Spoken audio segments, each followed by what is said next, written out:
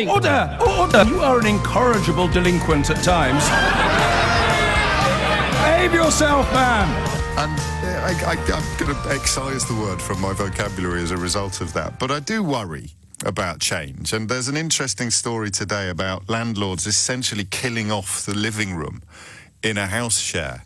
It's another one of those moments where I feel just just how old I am because I, I, I mean obviously to look back upon the times when I lived in a house share. You, you, you, well, you need to go back a while. So we'll begin that conversation with an acknowledgement that things have almost certainly changed a lot since I was last looking for digs. But I find that really scary. You know, I, I, I just that that I have an image of loneliness there that is almost impossible to expunge. Uh, some of my house shares were with people that I already knew. That's often the student way, but some weren't. And and I still count among my friends people that I shared a house with in Chorlton cum Hardy in 1992, who I wouldn't have known otherwise, and they came from very different. Anyway, we, I digress. We'll get stuck into that later in the program. I'm drawn also to the suggestion of, of excluding children from school if they haven't been vaccinated. I, I, it might turn out to be a black and white issue, and we're all on the side of the science. But there's a little bit of me that wonders whether the kind of kids who are in that sort of household are precisely the kind of kids who need the protection of, of society at large the most. I, am a little bit torn on that one. I'm also increasingly interested in the relationship between the gut and mental health. So while the MMR vaccine story is um, uh, one that never should have seen the light of day, uh, broader issues, more nuanced issues, perhaps deserve a fairer hearing. I'm not. I'm genuinely not sure. I'll make that clear from the start. But we're going to begin with a, a, sort of curious combination of looking backwards and looking forwards. Uh, of all the things to, to make you sort of spit out your porridge over the course of the weekend, for me, I think it was footage of a banner put up in Manchester in uh, preparation for the Conservative Party conference, which which effectively called for Conservatives to be killed. Um, it, it was sort of dangling from what, what looks like some sort of gantry or or, or pedestrian walkway bridge. And it also had a couple of effigies dangling beneath it, just to remove any doubt at all that this was when they talked about levelling the playing field after 130,000 deaths view, through austerity. Um, it, it, it, clearly is metaphorically calling for, for Conservatives to be killed. You also, of course, had, had Mr Farage over the weekend talking about taking a knife to the civil service.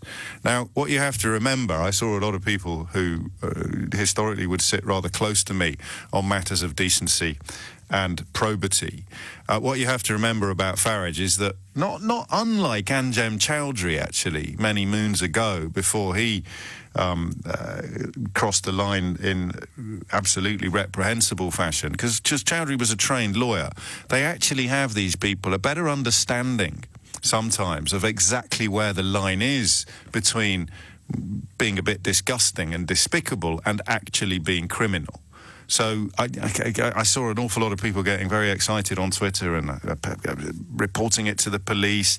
There's no way that Farage was going to be charged with anything for, for employing a, a, should we say, a very deliberate figure of speech. Normally, you talk about taking the axe to a workforce. Taking the knife to it isn't a phrase that I've heard before, but it was clearly defensible. That's the point, isn't it? That's what I mean by this very uh, subtle understanding of the line between actual incitement and simply being disgusting. Being disgusting is not a crime in this country. But of course, the difference between political figures and I suppose, for want of a better phrase, ordinary punters is acute at a time like this. So I don't think there's anything controversial in me suggesting that that disgusting banner put up in Manchester would be a hundred times more disgusting if its sentiments were in any way endorsed by senior politicians, you know? I felt that when John McDonnell called for someone to be lynched, he was again flirting with uh, it, it, it, flirting with incitement, uh, clearly not committing it. But there'd be degrees of that as well, wouldn't there? You know, I, will take the knife to the lot of them, or I think she should be lynched. No one actually believes that either of those senior politicians intend harm in the context of what they're actually saying, but they both need to wonder a lot more deeply about what a potentially, again, for want of a better word, unhinged supporter might take from those words. And that, of course, is why Paula Sherriff last week reminded or sought to remind Boris Johnson that the, the, the kind of language he uh, employs is often echoed in the kind of vile missives that politicians like her are now receiving. And she, of course, cited the memory of her murdered friend. Jo Cox in the hope of reminding him of, of how dangerous it can be to introduce this sort of language to the national conversation. Johnson inevitably is completely um, uh, unrepentant. Uh, quite the opposite, in fact. He's doubling, tripling, and quadrupling down on this sort of, uh, you call it bellicose or warlike language. There was one clip of him filmed covertly at conference, um, which I might share with you later, of him simply explaining uh, precisely why he, he will carry on to use this sort of language. And it, it, it works, doesn't it? Because, you know, as well as I do, and I, I apologise in advance if you're still on the Brexit bandwagon because it must be getting very embarrassing and difficult now to to cling on to the to the to the to the wreckage that remains. But it's all about giving people something they can shout and excuse them the difficulty of actually thinking and looking at stuff. So, you know, it began with take back control.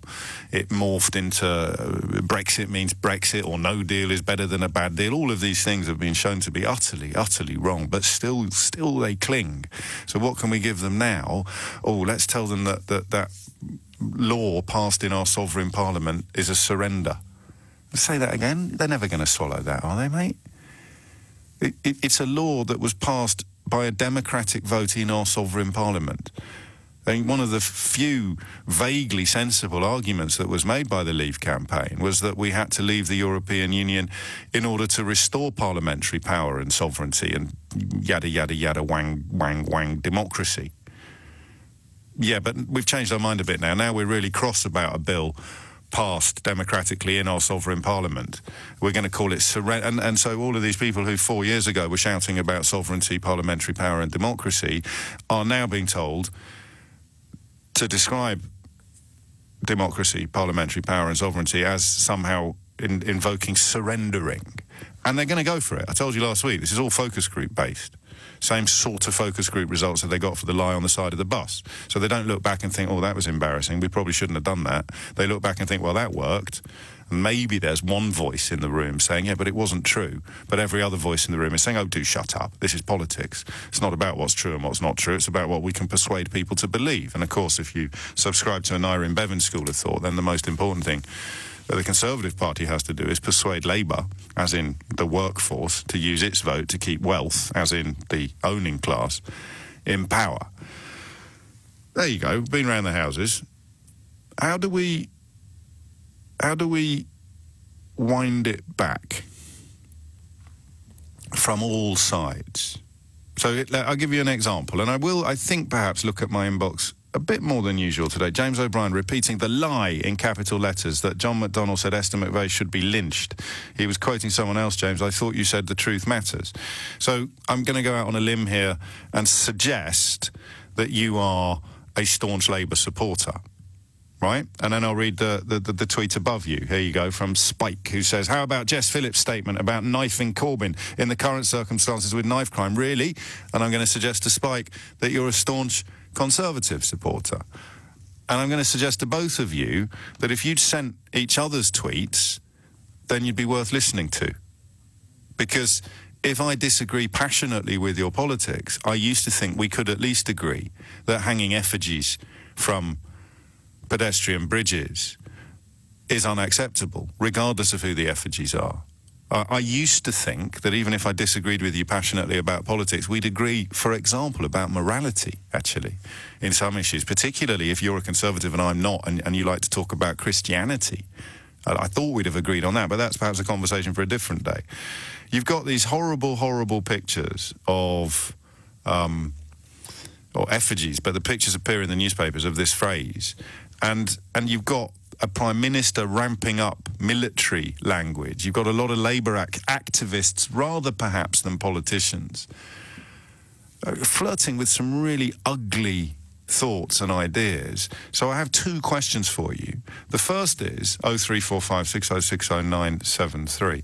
The first is how, how, how do we dial it down? My naive suggestion is perhaps you dial it down by criticising your own side more robustly than you criticise the other side. But then you look back on Brexit and you kind of think, yeah, but if you do that and the other side doesn't, they get a complete free pass to tell whatever lies they want or to do whatever they please. And that leads us into question number two on this question of, of the increasingly febrile political atmosphere. Question number one is how do you think we can dial it down? 03456060973. And question number two is it, it, and, and I, I don't know how I can ask this question without my own leanings being clear, but if only one side addresses the problem, does that give victory to the other side? Is that why perhaps many of us are not as quick to criticise our comrades as we are to cri- criticise our foes?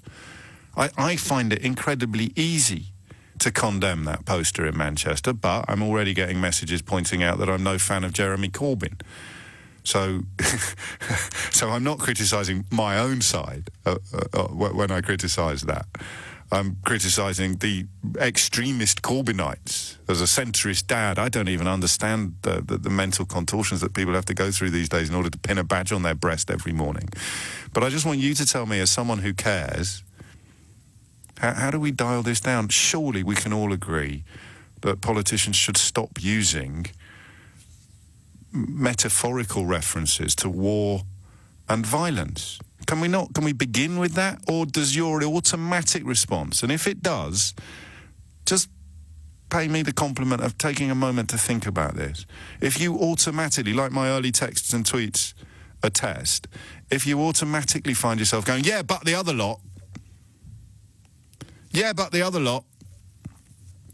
Now, here's something disgusting that's been done by quotes your lot, and your automatic response is, yeah, but the other lot. Then is it possible that you are the problem? It's 1017. 130,000 killed under Tory rule. Time to level the playing field. Um, and then two sort of effigies dangling from I'll tell you where I think that is. I think that's the is it the River Erm? What's the river called in Manchester? I think that's down near the um, down near the People's Museum. But anyway, it doesn't matter. That's an example of, of, of extremity. Then you have people like Farage talking about taking a knife to civil servants. Uh, John McDonnell um, referencing someone calling for Esther McVey to be lynched. I, I, I, I, sorry, I must take some calls, but this is such a fascinating question because Uh, do you think anyone actually has truly objective scales? So if you take the knife comment there, if you like Farage, you'll forgive that, right? And if you take the McDonnell comment, if you like him, you'll forgive that. I, I, I hold a candle for neither, but I'm in my own mind. Farage's words seem infinitely worse than McDonnell's, but obviously, I, I don't think anyone could have listened to this program for more than six seconds without without knowing the absolute contempt in which I hold Mr. Farage for, for a whole heap of reasons, um, none of which need to be revisited, although I always think that lying about the assassination attempt was a bit of a highlight. 22 minutes after 10 is the time. How do we dial things down? John's in Brighton. John, what would you like to say? Yes, well, see, I, I started off before all this, I was a Liberal Democrat supporter and I and I fought, and I, I, always voted for Liberal Democrats. And then, as, as we kind of went on after the um, uh, Brexit and and all the rest of it, I, I I then started slowly sort of moving. I don't quite know how I've done this, but I've moved from sort of right to, to sort of centre right. Okay. Um, I, I think that everyone's. What does so that? What does that? I know this isn't a gotcha question. What do, What do you mean by that? Because I'm not entirely sure. Um, so also, it's a terrible phone line, mate. I don't know if there's something you can do about that. Is there? Yeah, sorry, hang on two seconds. Uh, This is you're on live national radio, mate. It shouldn't. I don't want to sound ungrateful, but for heaven's sake, Paul's in Exeter. Paul, what would you like to say? Hi, yeah, hi James. Yeah, it's my first time calling. You're very Um, welcome. Y- let's not um, have a fight, just to get into the spirit of things. It's it's all right. I come with, with gloves off. Good man. Um, but, yeah. So Irwell, the River uh, Irwell is the one I was looking for, near the cathedral. That's what that picture looks like to me. But we digress. Back to you, Paul. Right. Okay. Yeah. So you're, you're um, just talking about dialing it down. Um, I don't have a full answer to this. Uh, I don't know if anybody does, but um, I think we, um, we need to kind of look at the the context. So basically, since you know Boris Johnson wrote for the Times back in the nineties. You know, um, basically, yeah, yeah, well, was Telegraph, beg your Yeah, pardon. he got sacked from the he- Times for making up quotes from his own godfather.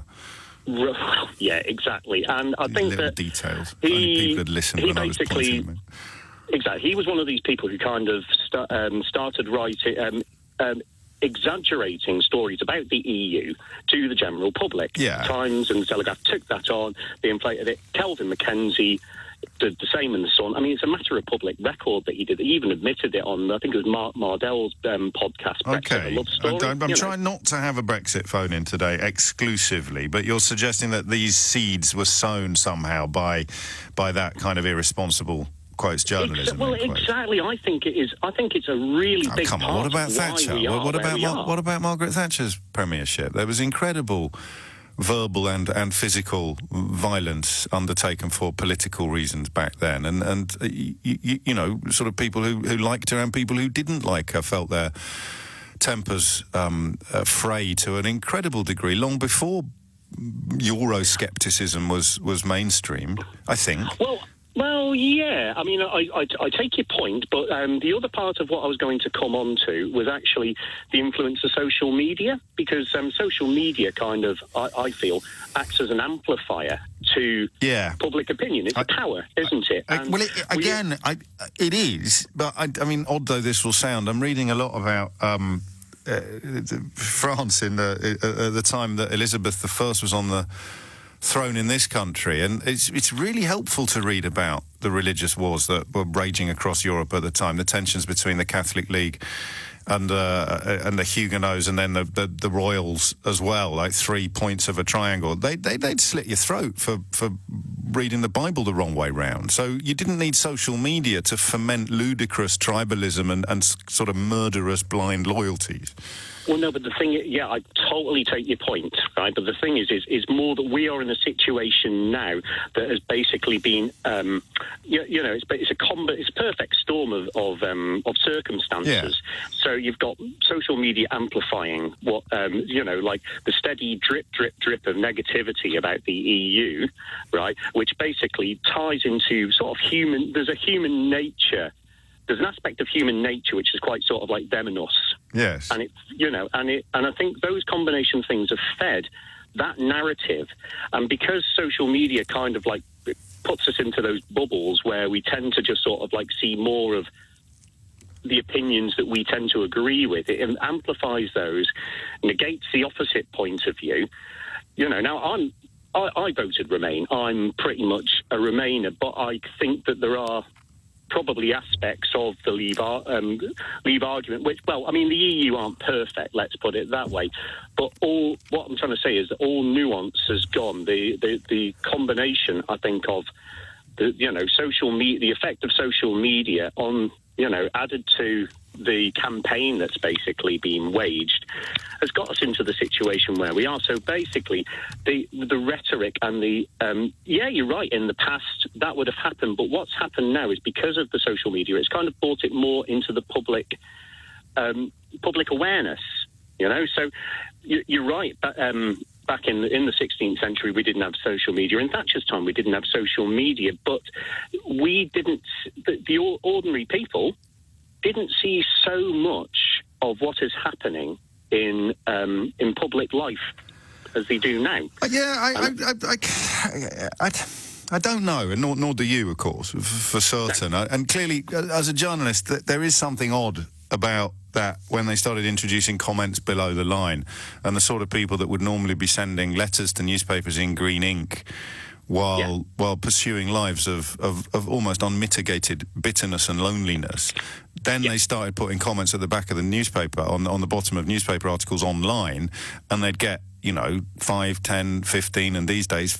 5,000 likes for the kind of stuff that used to be confined to green ink letters sent sent to newspapers. So clearly that validates. And then if you got noticed yesterday for being mildly gross, then in order to get noticed today, you've got to be even grosser. And that seems to me, from a cursory look at this kind of social media, um, that seems to me to, to explain how you end up with words like traitor and things like that moving into the mainstream. So if we take your theory and then apply it to the question I'm actually asking, which is how do we fix this? The short answer would be people in public life, most obviously politicians, but also, of course, journalists, must at all costs resist any temptation to ape the language of the comment sections and to ape the language of the of the kind of um, extremist website contributors. Yeah, I mean, I, I, mean, I, I would broadly agree with that. I think what it is is that because social media is, is completely changed. I mean, I'm not totally laying the blame on social No, media. no, I know, I know, but it gives it but, is know, like but- a massive loud hailer and a massive amplifier, and and you know, even if I took a caller on the radio who came out with the kind of bile that is now commonplace on social media, it would be a moment in time. You know, even if it was clipped up and went viral, it's still a moment in time. But but what social media does is give the caller constant access to the ears of some of the public. And then perhaps one of the answers to the question, how do we fix things? Stop calling it out. I know that sounds odd. But it, it, I, I- mean, receipt uh, historically of rather more um, bilious communication on social media than, than many. Not all. I, for a start, I'm white, straight, and male, so the kind of abuse I get is automatically not as bad as the kind of stuff that, that, that Gina Miller or um, Diane Abbott or others receive. But if you stop calling it out, you stop amplifying it. Perhaps, just a thought. I, I suppose the first thing you have to do is perhaps, and this is the problem because we won't agree on this, you need to identify the people that don't want to fix things, right? The people who actually thrive upon stoking up this febrile atmosphere.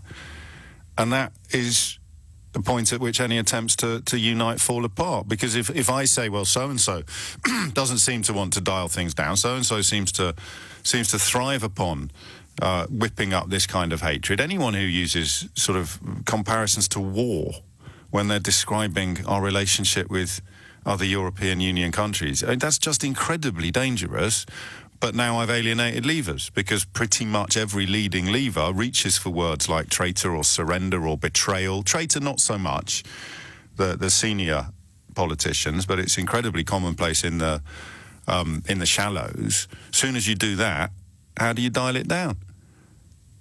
I don't know. 0345 6060973. And and the other thing you'd point out would be the false outrage. There's lots of false outrage out there. That's what I mean by I point at at something horrible that's been done by somebody allied to something you believe in, and you automatically go, yeah, but what about? Yeah, but what about that? Yeah, but what about that? Instead of just going, God, that's gross. Just today, let's focus on that and call it gross. Let's not respond to it by saying, yeah, but on the other hand, yeah, but on the other, I don't know. It's just me thinking out loud because I think, you know, albeit that one has to grow a, a, rather thicker skin than is normal to operate in anything close to the public sphere politically these days, it does perhaps give you a, a, an insight into how quickly the traffic seems to be moving. I don't think, and I could be wrong, but I don't think it was commonplace for senior politicians to be talking about betrayal and surrender all the time in the context of things that had been passed by our own parliament. Ross is in Manchester. Ross, what do you reckon? Uh, well, the thing I think it goes back much further than than the uh, oppositional uh, way that politics has gone to actually being part of the actual system itself. So the whole system in politics is set up so that you have confrontation. Well, yes, There but is- we've always had this system of politics, and I think today's Yes. conversation is contingent upon the suggestion that the confrontation is, is rather more febrile and toxic than usual. Okay. Uh, yes, I was just laying the groundwork for my second point. And my second point is that people have been primed by advertising and the media to receive very simple, short messages Yes. which touch upon and reinforce emotional triggers in people. Now, what the current atmosphere has done is it has managed to identify these triggers and use them for their own ends by algorithmic uh, examination of data on social media. So they know how to pinpoint people's responses. And because of the psychological makeup of tribalism, people only get their own message reinforced. So it's no surprise that the two sides that have been set up get further and further apart and more and more extreme because they're only having their own uh, point of view reinforced and not being uh, encouraged to collaborate to come to a central idea. I, I- yes, you're- you're clearly onto something there. I like the notion of simple and short messages being used as a sort of substitute for, for, for, for understanding. That tallies with something I've been trying to describe for some time. But I, I just I'm looking at the extremities, and I prefer that word to extremes. I don't know why. Yeah. Seems a little bit more diplomatic. And and they don't. What's odd, perhaps, is they don't turn their attacks on each other so much, do they? They turn their attacks on on the middle. They both attack the middle, the the, the you know the, the the the centrist, for want of a better position. They don't they don't attack each other. Does that does that add to your Um, analysis? Perhaps, well, I hadn't thought of it in that way. Perhaps I could be wrong. That's just from where I'm sitting this morning. Um, I think they, they possibly attack the, the the middle because it's closer to their understanding of what is. Yes. So therefore, they're able to construct a position against the centre that is much more difficult for them to construct a position against an extreme. Because the only position they have against an extreme is an emotional one. It's a very uh, intense uh, reaction to that. So their mind doesn't allow them to kick into a rational set of examinations. It immediately kicks into the fight or flight area of them, um, you know, bringing up disgust, fear, anger, um, you know, aggression, all of those sorts of things. So maybe that's why they attack the centre because they can actually articulate and they can reach it. That's a good point. Uh, do you know what else the problem might be? Here's a text that's just come in. I am James O'B's biggest fan, but man, this is the most boring hour on LBC I've heard in years. Well, maybe we should make it short, sharp, and snappy. I'm and, blaming know, it on like you. I'm blaming Well, it entirely on you. much. I'm not taking responsibility. But but there's a point there, isn't there? Which is today we're trying to work out where all the anger and bitterness comes from. Yeah. But that doesn't make, for this listener at least, and possibly for many others, that doesn't make as compelling radio as when we are either attacking or inflating and amplifying the fury Yeah. and the and the and the highly emotive commentary. people people want the intense experience. That's why they can't. They find rationality dull, boring. They want to gauge to it. They want to go straight to the sort of the chemical reinforced high of of a message. And, that, and that's how you end up position. talking about the Tories being because I, I can fill in the gaps perfectly easily for, for how that plays to, to, to, to the right wing extremities, but the left wing Yeah. extremities, you tell them the Tories are killing you, they're, they're, and and there is obviously there are relationships between austerity policies and broader truths, but but you know they've murdered 130,000 people, they've killed 130,000 people. That's a ticket for the ghost train, right? That gets me frightened, it gets me angry, and I probably am not going to take as much time as I should to dig into precisely how true it is because I've got to Yeah. take up my cudgels and go into battle now against these Yeah. murderers. Well, yeah, but the the people, and and this is, this is the point I guess I'm trying to make is, is that uh, in in the past, without painting it in any rose colour at all, um, there was time for contemplation because people received information in a much more uh, slow way and a way that wasn't. Um, data fed to make them click through or make them pay attention or make them buy something or something. So people have had these neural pathways set up. You know, I mean, we're in a generation now where people have been watching and, and absorbing advertising information since they were born um, and in much more sophisticated ways than ever. You had a, co- um, a guy on the other day who was explaining, you know, uh, I think it was on your, your show, Yeah. about, um, uh, you know, advertising. Uh, focus groups and all of that sort yes, thing. no, it was. It, wa- well, Alex Tait, you might be referring to, who set up this Yeah. campaign to, to, to hold political advertising to the same standards as cat food advertising. And when Well, you yeah. say those words out loud, it's quite uh, easy to go, oh, yes, there's a problem. Yeah, quite. And that, yeah, no, it's, it's a good point, and, and that's what it appeals to. So if you take the success of advertising in the, in our very consumer-driven and commercial times, and then recognise what we discovered last week about the paucity of regulation for political advertising, I think Ross's points, his arguments, become almost almost irresistible. You have to have rules in place to stop people buying cat food under false pretenses, but they can buy a politician or a po- policy under false pretenses. And and perhaps you know it's buyer's remorse, isn't it? It, it, it, it, it it's when you realise that you've bought a pup, you don't get cross with the person that sold it. You get cross with the person that told you it was a pup, and then the entrenchment of the tribalism goes down a level. Um, thank you, Ross. I, uh, my apologies to my texter uh, for, for for making such boring radio, but I, I kind of think it's important. It's probably more important than pointing out yet again that no Brexiter has an argument left for why it's actually a good idea, um, and, and looking instead for ways to build a bridge between us. But of course, what I just said might be problematical. Alfie's been in touch. He says, if you want to tone the language down, listen to a recording of your own show. You come across as patronising, sarcastic, and narcissistic. It is really tedious and boring. See, mate, I, I, obviously I'd, I'd struggle to pay my mortgage. But if we could make it all just patronising and sarcastic or tedious and boring, we'd, we'd be great, you know? Jo Cox wouldn't be dead.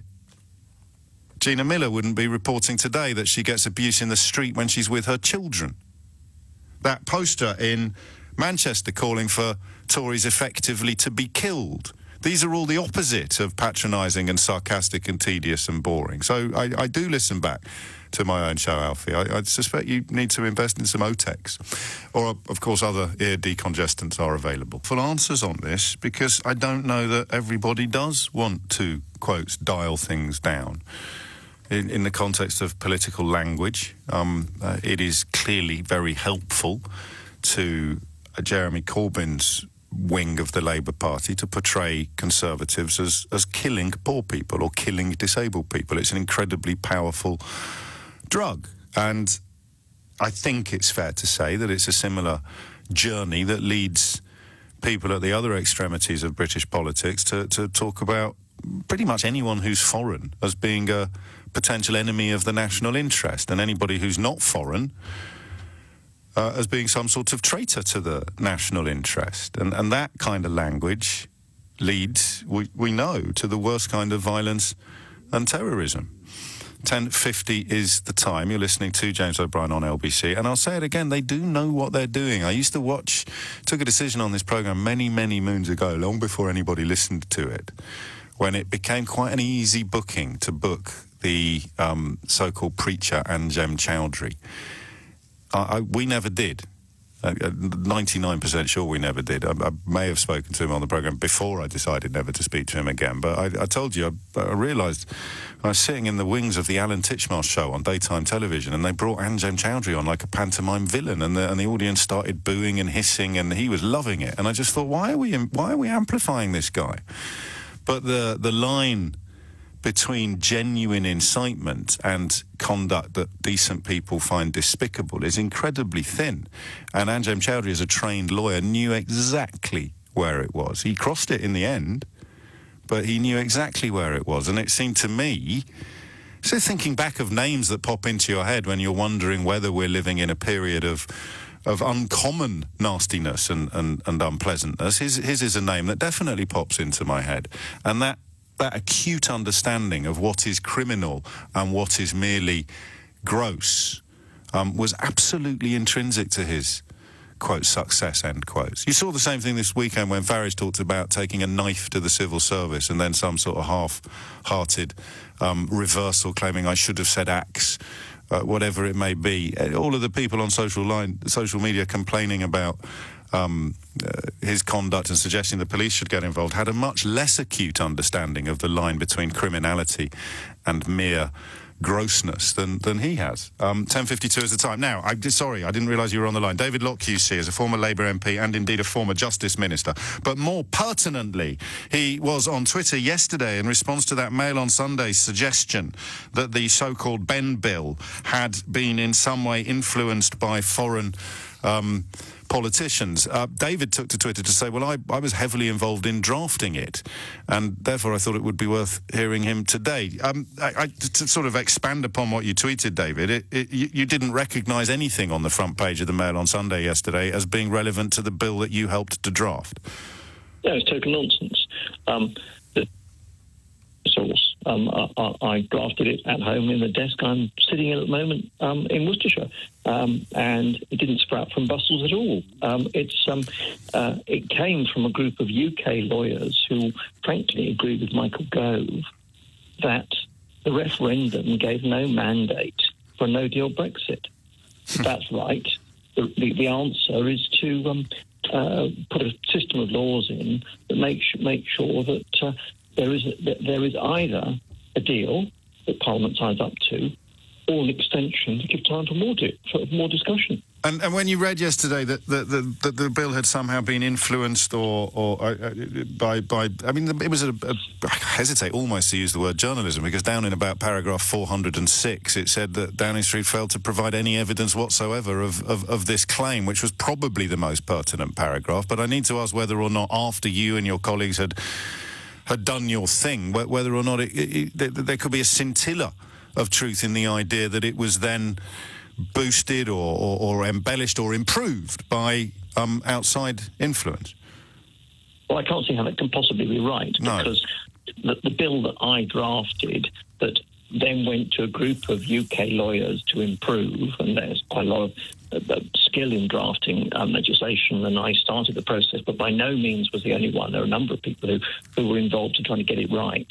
Um, that was essentially the bill that was then picked up by the politicians. What we wanted to do was to make sure that if the politicians got political agreement, they had something on a plate that would work legally to deliver that agreement. Um, so it wasn't for us to decide whether they were going to agree, but if they did agree, we wanted to make sure they did it right in law. So that's what we were doing. And it's a UK law issue. It's got absolutely nothing to do with Europe. Frankly, I don't think anyone in Europe would have the skills necessarily to draft UK legislation. yeah, well, because of precedent and, and, and understanding and knowledge, and all, just in case anyone thinks you are casting aspersions upon the intelligence of our of our European no, no, friends, this is a question of knowledge and expertise. Precisely. It's knowledge and expertise, and it's a very much domestic knowledge and expertise about the intricacies of parliamentary drafting. And, and you know, um, that's what we did. And the idea that this was somehow magicked from abroad in order to subvert the will of the British people, which is simply what the Mail on Sunday was essentially arguing, yes. absolute nonsense. It's simply fantasy. Um, it's fake news. Um, because I can tell you it didn't happen like that. And, and you know because you were there. Indeed, you, you, you, tweeted a photograph of the very desk at which the, the, the, the drafting was done. I, this is sort of it's not it's not a very lawyerly question, this, so I'll apologise in advance. But how did you feel when you read that story yesterday? I laughed. Uh, well, I laughed in the basis that it was complete nonsense, and then I got angry because it's another example of putting out a sort of victim conspiracy story, which, if you are in that mindset of there's a great conspiracy to stop Brexit, you will jump on and believe, not because it's true, but yes. because it suits your your perspective. So it seemed to me highly irresponsible, utterly lacking in evidence. Not something, for example, the BBC would ever do, I hope, because they have a code which regulates the level of evidence that has to be present before a story um, is is reported. But the Mail on Sunday and whoever the unidentified source at number 10 mm. have no such constraint. So they can peddle this nonsense, feed the conspiracy theory, feed the lie. It's a lie, um, but, uh, and, and, but there will be large numbers of people who now believe it because it, the, the lie has been um, um, advanced. it's half, halfway around the world before the truth has got its trousers on, to coin a phrase. Precisely, and and it just seems to me that you know initially I laughed, but afterwards I got angry. Yes. Yes, crikey. Well, thank you for answering so honestly, because I, I, was tempted to ask you, what could you say to people listening to this programme now who, who were labouring under the notion that, that there was a, a, a, basis of truth or a foundation of fact in that story. But you've you've essentially already said I drafted the bill. So if and that's well, the problem no, that you described. I drafted the first draft. The first draft of and the then a group of people, all of whom were UK-based lawyers, some of whom were very eminent parliamentarians, mm. um, um, took my draft and improved it. And all of these types of uh, exercises are a group exercise. They're a collective effort. No one person is is is ever responsible for something as complex as this. But the, but if you ask me, but what was the process? It was all domestic. Was it being dictated to by Europe? No, it had nothing to do with Europe. And that, and that, that is the, the fundamental problem that you describe as, the reason why anger followed fast upon your, your, your laughter is that people will choose to believe this story, regardless of the fact that the people who drafted and, and, and, and completed the bill are saying that it's nonsense. That, that's an astonishing state of affairs, isn't it? This idea that, look, here is a lawyer who wrote the first draft. Here is his account of what happened subsequently. Here's an utterly unsourced claim in a newspaper, and then a significant swathe of the population will elect to believe the unsourced claim in a newspaper about a bill that you wrote the first draft of. I don't see how you get out of that. I don't see what else you can give to people except David Lock QC describing what actually happened. Yeah, and you know that that and nobody got paid for this. No. Nobody was was giving instructions. We were doing this because there was a shared commitment that there was no mandate for no deal, and therefore Parliament, if they wanted to, should be able to enforce that. Um, and Parliament decided to do that. And those who were complaining about it, looking around for some conspiracy theory to try and blame others, frankly, just as the as the whole um, Brexit campaign was always run. Um, but it's simply not true. and, there, I think we can. Uh draw a line under it for now. David Lock QC, thank you so much for your time and, and, and attention this morning. Uh, genuinely talking about social media in a very negative sense this morning, that's also why I love it. I didn't know David's name before yesterday. Um, uh, and I noticed his tweet originally because that desk in Worcestershire that he described is in a little town just up the road from Kidderminster, where I grew up. So it was the word Bewdley that jumped out at me, not the word Benn Act. Um, but there you have it. I don't know how you deal with that you see. And in many ways, it, it plays into what we've been talking about all morning, doesn't it? Because you now have something that is almost certainly complete nonsense. But if it's on the front page of a newspaper, how cross can you get with Auntie Doris for thinking that it must be true? I don't know. I suspect you can get a little bit crosser with her after you've spoken to the people that wrote it, but she still believes the story.